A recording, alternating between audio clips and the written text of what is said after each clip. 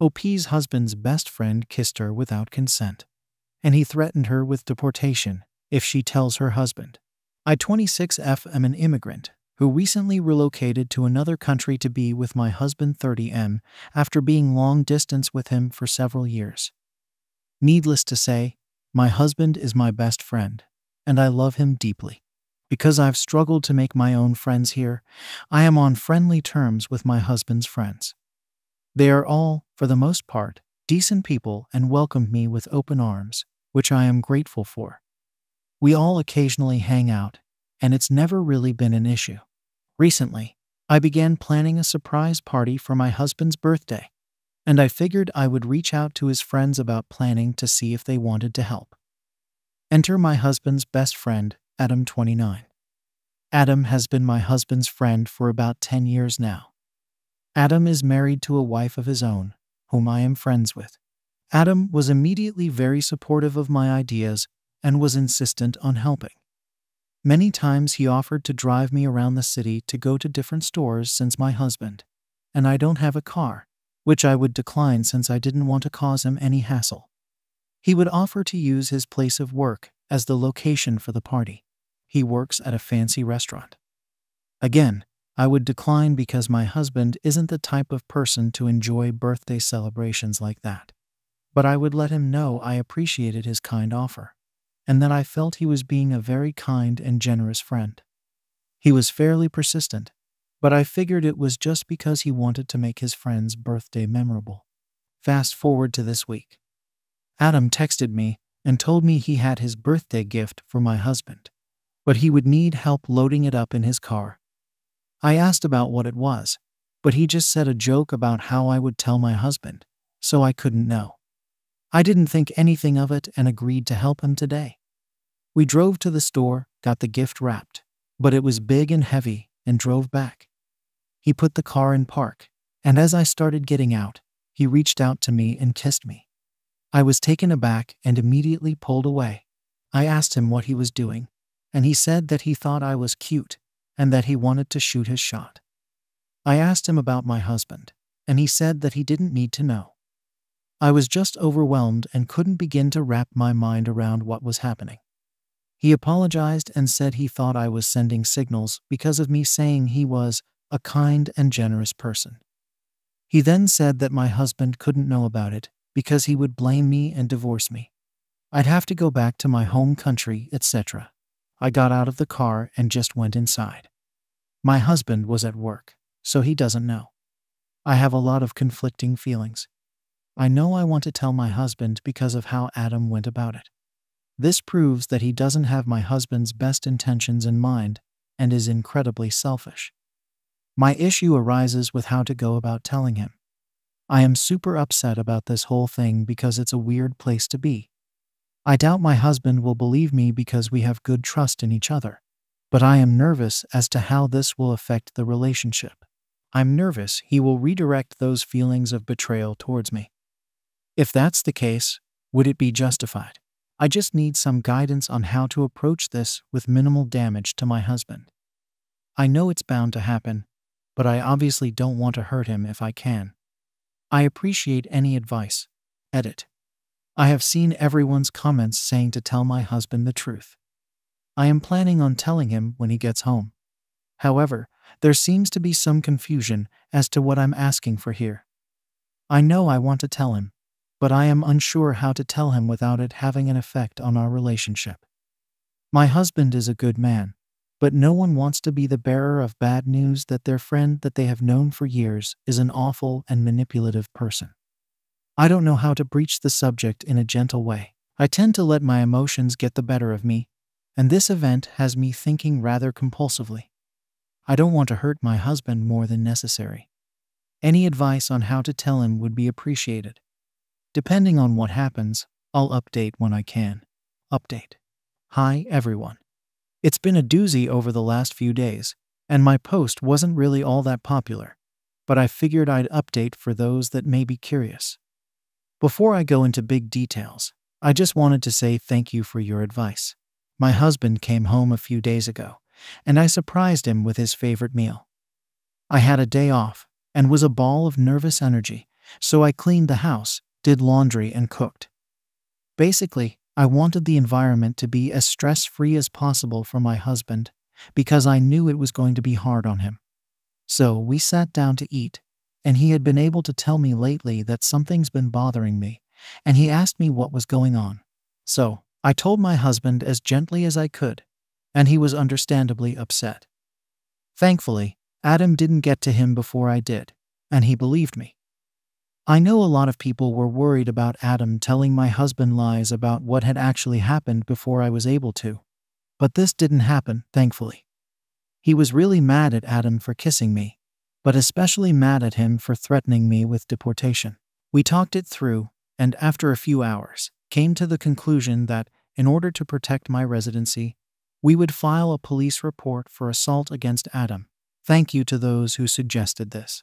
As we talked, Adam sent me a text message that said this Hey, I just wanted to check in on you to make sure you remembered what I said to you in my car yesterday.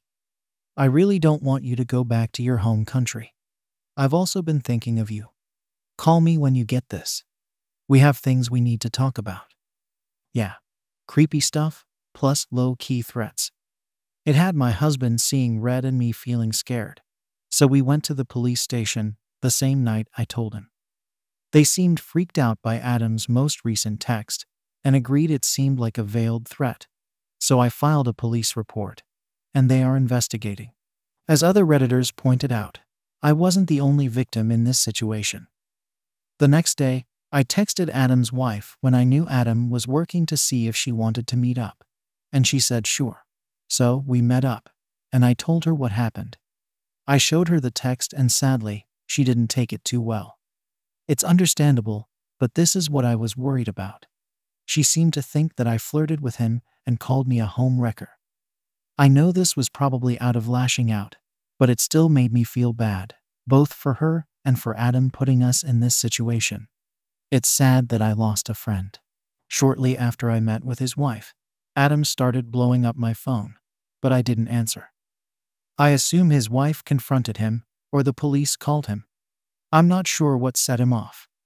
He then sent me a bunch of texts that just got crazier and crazier to the point where I didn't feel safe. So I called my husband, who was at work, and he told me that Adam was also blowing his phone up too.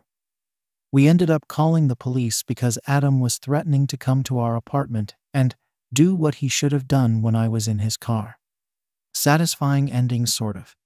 He was detained by police for making what they deemed a credible threat against me. It's still an ongoing situation, and I'm a bit upset by how this whole thing essentially blew up. But at least my family and I are okay. The most important thing I'm focusing on is recognizing that what happened isn't my fault, and that I am a victim here. Also, therapy is going forward. Overall, this experience has shown me how quickly people can change once they don't get their way. If you had told me a week ago that Adam was a nice guy, TM, I would have laughed at you. As we went through Adam and I's very few interactions, my husband agreed that there weren't any mixed signals. Adam had completely made it up in his head, or, as some of you pointed out, was trying to take advantage of a woman in a vulnerable position. I am fortunate that I got the support and protection I needed. It's certainly a great way to start off a new life in a new country, that's for sure. Anyway, I wanted to say thanks for all the comments and support my last post got. My husband read the post and was thankful that I wasn't dealing with this situation by myself. Thanks, Internet. Also, shout out to my husband for literally handling this in the most amazing way. We are lucky to have him, so give him some internet love. TLDR. My husband's best friend turned out to be a crazed nice guy who was arrested for threatening me. Edit.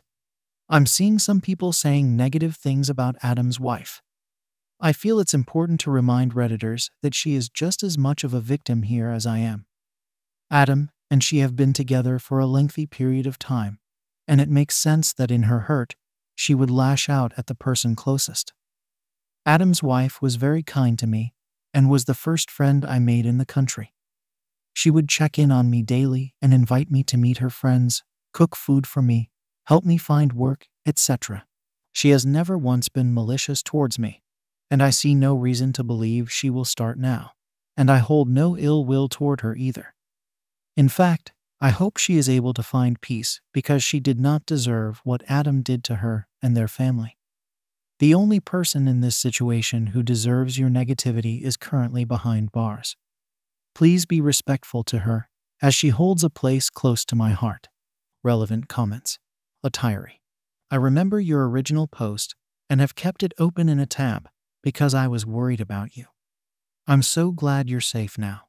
Adam never believed you were sending him signals. He is just a predator who used that lie to make you feel like you did something wrong.